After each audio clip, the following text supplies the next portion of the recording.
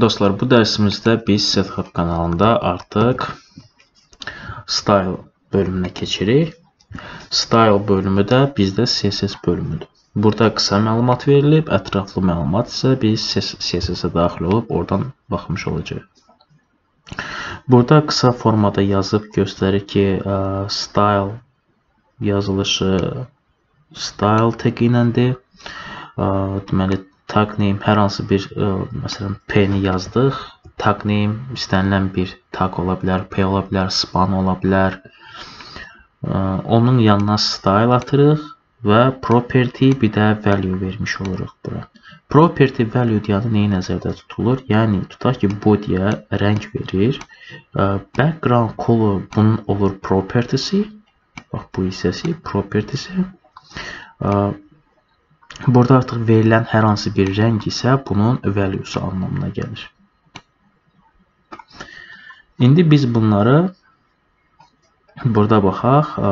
H1 style color bunun oldu property, blue value'su. Yenə property value. Bu isə atributdur.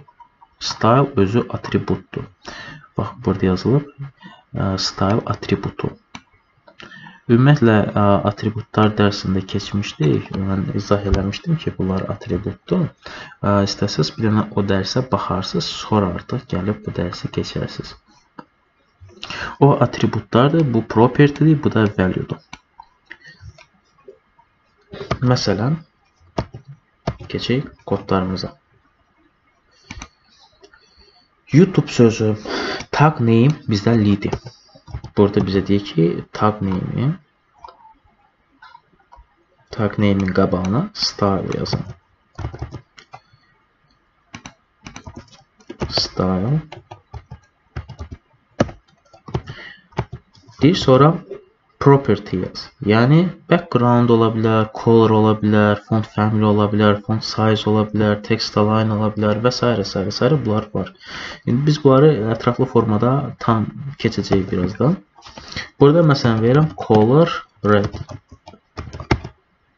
Və baxaq ekranda görək nə olacaq. YouTube bizdə artıq qırmızı rəngdədir. Telegramı da göy rəng eləyə bilərik. Style color blue. Bu da oldu bizdə göy rəngdə. Ümumiyyətlə CSS bizdə bu bu keçəcəklərimiz bizim hamısı CSS-in içindən gəlir və ona görə biz indi gəlin keçid eləyək CSS bölümünə. Biz artıq HTML ilə CSS-i paralel olaraq keçəcəyik. Çünki HTML o qədər də böyük bir şey deyil. CSS-də isə HTML ilə istifadə olunacaq çox ə, parametrlər var. Deməli, CSS bunun ümumiyyətlə açılışı Cascade Styling Sheet anlamına gəlir. Yazsaz ki, CSS nədir? Wikipedia sizə bu barədə məlumat verəcək. Yəni Cascading Style Sheets. Bu ə, normalda tutaq ki, belə desəm, yəni elə bir tutaq ki, insandır. İnsanın sümükləri bu skelet hissəsi, bu HTML-dir. Onun ə, artıq ə, boyu nə qədər olacaq, neçə kilo olacaq, üz quruluşu necə olacaq falan. Bunların hamısı və ya geyimi falan, bunların hamısı CSS-dir. Artıq ona fason verilməsi falan, bunlar CSS-dir. O ki, insan uca başlayır hərəkət eləməyə, bu uca JavaScript işə düşür. JavaScript hissəsidir yəni. Biz indi hal-hazırda CSS-deyik. Okay, baxaq. Introduction Bu CSS-dən deyir, belə bir şeylər yaratmaq olur artıq. Bunlar barədə sizə tanış eləyir. Deyir, belə bir yazılar yaza bilərsiniz artıq göyün içində, ağ rəngdə falan belə şeylər.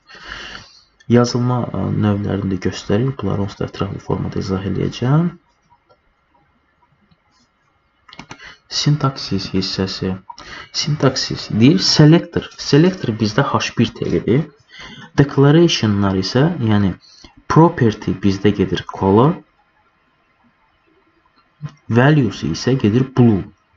Əgər biz bu birincini yazandan sonra ikincini də vermək istəyirsə, ikinci property value və nöqtə vergül property value nöqtə vergül property value nöqtə vergül yazıb getmək istəyirsə, bir neçə dənə funksiya vermək istəyir, verdim declaration vermək istəyirsə, property vermək istəyiriksə, o zaman nöqtə vergül bizim üçün əsasdır. Çünki fikir verin,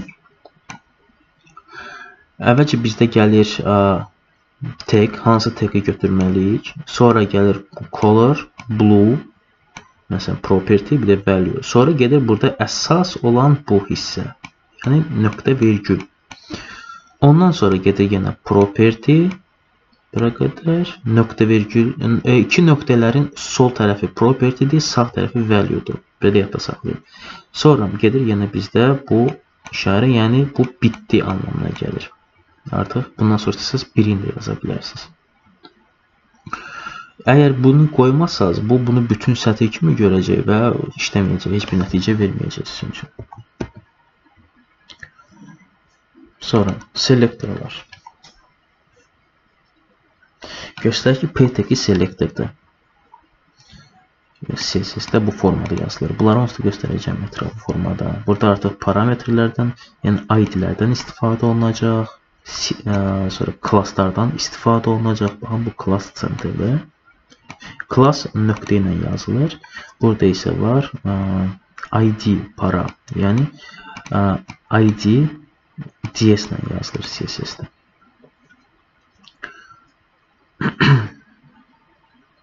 okay. ID class bunları keçəcək. Bu sizə əvvəlcə yuxarıda çətindən gəlir, sonra düşür ətraflı aşağıda başlayır izah etməyə biz asandan çətinə doğru gedəcəyik. Bizdə burada əsas məsələ qalır bu.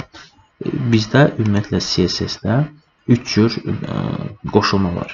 Birinci gedir ə, belə deyim, aşağıdan yuxarı gedir. Inline CSS, internal CSS və external CSS. Inline CSS dediyimiz budur. Məsələn, bu yazdığımız bizim inline-dir. Yəni bir dənə sətrin içindədir. Mən buna background da vermək istəsəm, nöqtə vergül, background blue verəcəm buna məsələn.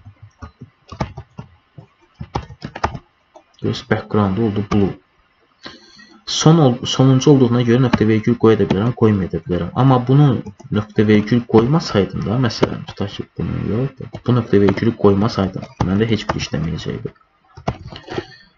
Bundan sonra bir parametr gəlirsə, onda bunda nöqtə vergül qoyulmalıdır və bu əgər axırıncıdırsa, da sonunda bir dənə property value yoxdursa, nöqtə vergül qoymaya bilərsiniz. Amma məsləhət görərəm ki, qoyun. Çünki gələcəkdə yeni bir, bir şey yazmaq lazım olanda burada, məsələn, text decoration underline vermək istəsəm, underline altına xət getmiş oldu. Söz YouTube sözünün altına xət getdi. Bunu qoymasaydım, o zaman red eləyəcəkdi. Red, yəni bura qədər redə qədər gəldi. Reddən sonra bunu bir sətir olaraq gördü və işləmədi. Nə backgroundunu dəyişdi, nə də altından xət çəkdi.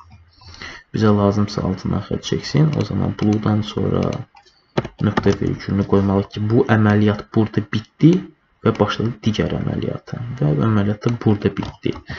Və beləliklə 3 dənə əməliyyatı göstərmiş olduq. YouTube arxası e, YouTube oldu qırmızı, arxası oldu göy rəngdə, altında qırmızı xətt getdi. Bu e, CSS-ə giriş idi. Növbəti dərsimizdə artıq bunların necə işlədiyini tam formada ətraflı izah edə biləcəyik. Səhifəni like eləməyi, paylaşmalı ve abone olmağı unutmayın.